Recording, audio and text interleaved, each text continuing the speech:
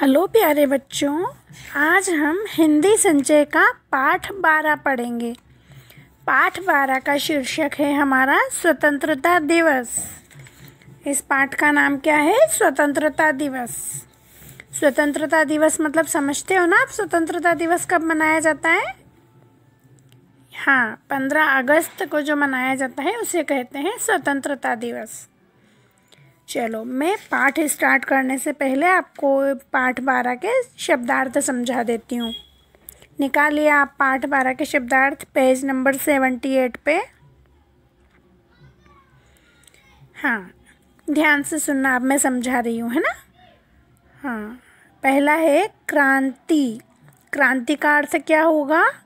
दबे हुए का विरोध। क्रांति मतलब जब हमारी आवाज़ को कोई दबाता है तो उसके विरोध में जब हम लड़ाई करते हैं, उसे बोलते हैं क्रांति। अपनी आवाज़ ऊँची उठाना, किसी का विरोध करना, उसे बोलते हैं क्रांति। दूसरा है शहीद। शहीद का अर्थ क्या होता है? देश पर मरने वाला। देखा है ना आपने बहुत सारे सैनिक, हमारे भारत के सैनिक जो शहीद होते हैं तो शहीद किसे बोलते हैं? जो देश पर, देश की सेवा के लिए लड़ते लड़ते मर जाता है। उसे कहते हैं शहीद। मतलब देश पर मरने वाला। अगला है स्वतंत्रता। स्वतंत्रता मतलब क्या होता है? आज़ादी। हमारा देश अंग्रेज़ों की गुलामी से जब आज़ाद हुआ था ना तो उसे उसे क्या कहते हैं? स्वतंत्रता। आंदोलन। आंदोलन का अर्थ होता है एकत्र होकर बदलाव लाने की कोशिश। मतलब किसी भी चीज़ के खिलाफ हम आंदोलन शुरू करते हैं तो आंदोलन का अर्थ होता है एकत्र होकर मतलब इकट्ठा होकर, एकजुट होकर किसी भी काम में बदलाव लाना। एक अकेला व्यक्ति कभी भी किसी में बदलाव नहीं ला सकता है।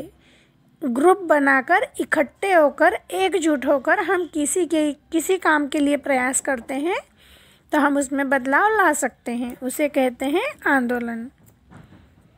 अगला है सत्याग्रह। सत्याग्रह का मतलब होता है सच्चाई पर अडिग रहना। अडिग मतलब स्थिर रहना। सत्याग्रह। क्या बोलते हैं इसको? सत्याग्रह मतलब सच्चाई पर अडिग रहना। सच बात पर एक स्थायी रूप से टेक कर रहना, उसे बोलते हैं सत्याग्रह। अगला है गुलाम। गुलाम का अर्थ क्या होता है? आधीन। मतलब जब भारत देश अंग्रेज़, अंग्रेज़ों का गुलाम था मतलब अंग्रेज़ों के अधीन था, अंग्रेज़ लोग जैसा बोलते थे, हमें उनकी आज्ञा का पालन करना पड़ता था, उनकी बात मानना पड़ती थी। तो हम अंग्रेज़ों के गुलाम थे मतलब उनके अधीन थे।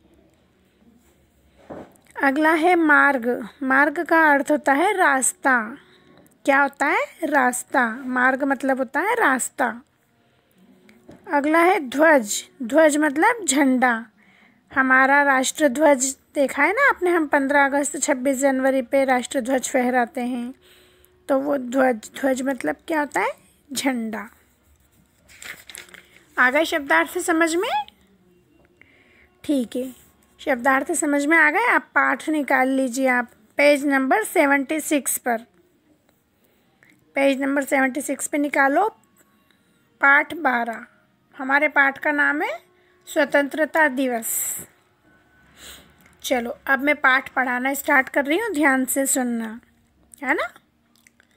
दिल्ली के लाल किले पर 15 अगस्त उन्नीस को पहली बार हमारा राष्ट्रीय ध्वज फहराया गया। कहाँ पे फहराया गया सबसे पहले दिल्ली के लाल किले पर। दिल्ली में देखा है आपने? बहुत से लोग, बच्चों ने दिल्ली देखी होगी। दिल्ली का लाल किला भी देखा होगा। तो दिल्ली के लाल किले पर 15 अगस्त उन्नीस को पहली बार राष्ट्रीय ध्वज फहराया गया। इससे पहले सैकड़ों वर्ष हमारा देश गुलामी की जंजीरों में जकड़ा हुआ था। मतलब 15 अगस्त उन्नीस सौ सैंतालीस को जब हमारा देश आज़ाद हुआ तो आज़ाद होते ही सबसे पहले दिल्ली के लाल किले पर राष्ट्रीय ध्वज फहराया गया। 15 अगस्त उन्नीस को जब देश आज़ाद हुआ, उसके पहले हमारा देश सैकड़ों वर्ष मतलब कई सौ सालों पहले से, कई सौ सालों पहले से हमारा देश गुलामी की जंजीरों में जकड़ा हुआ था। मतलब हम लोग अंग्रेज़ों के ग़ुलाम थे। गुलामी की जंजीरों में जकड़े हुए थे। मतलब अंग्रेज़ों के ग़ुलाम थे। वो लोग जैसा बोलते थे, हमें उनकी आज्ञा का पालन करना पड़ता था। हमारे हाथ पाँव बंधे हुए थे। हम उनकी आज्ञा के बिना एक तिनका भी नहीं ला सकते थे। है ना? इसलिए इसे कहा गया है कि हमारा देश गुलामी की जंजीरों में जकड़ा हुआ था। गुलामी की जंजीरों को काटने के लिए हमारे देश के अनगिनत नौजवानों ने जान की कुर्बानियाँ दी। मतलब गुलामी की जंजीरों को काटने के लिए मतलब हमारे देश को आज़ाद कराने के लिए, अंग्रेज़ों की अधीनता से स्वतंत्र कराने के लिए हमारे देश के अनगिनत अनगिनत नौजवान मतलब जिनकी कोई गिनती नहीं की जा सकती। अनगिनत मतलब क्या होता है? जिनकी कोई गिनती नहीं की जा सकती, ऐसे नौजवानों ने जान की कुर्बानी दी। मतलब अपनी जान से हाथ धो बैठे। अपने आप को देश के लिए कुर्बान कर दिया। मतलब शहीद हो गए। उन शहीदों को हमारा देश कभी नहीं भुला सकता। क्या नहीं कर सकते? जो लोग हमारे देश को आज़ाद कराने के लिए अपने प्राणों को बलिदान कर चुके हैं, अपने प्राणों की बाजी लगा चुके हैं, उन शहीदों को हमारा देश कभी नहीं भूल सकता। आज बॉर्डर पर इतने सारे शहीद होते हैं, सैनिक हमारे भारत के तो क्या हम उन्हें भूल सकते हैं, क्या नहीं भूल सकते? हम पंद्रह अगस्त, छब्बीस जनवरी पे एक राष्ट्रीय देशभक्ति गीत गाते हैं। कुछ याद उन्हें भी कर लो जो लौट के घर ना आए। है ना? गाते हैं ना हम वो वाला गीत? ए मेरे वतन के लोगों, ज़रा आँख में भर लो पानी। तो हम लोग उन शहीदों को कभी नहीं भूल सकते हैं, जिनके बलिदानों से हमारा देश स्वतंत्र हुआ, जिन्होंने हमारे देश को स्वतंत्र कराने के लिए अपनी जान तक गंवा दी। उनके बलिदानों को हमारा देश कभी नहीं भूल सकता, है ना? जिनके बलिदान से हमारा देश स्वतंत्र हुआ, उन्हें हम कभी नहीं भूल सकते हैं। ठीक है? चलो अब इसके आगे पढ़ रहे हैं।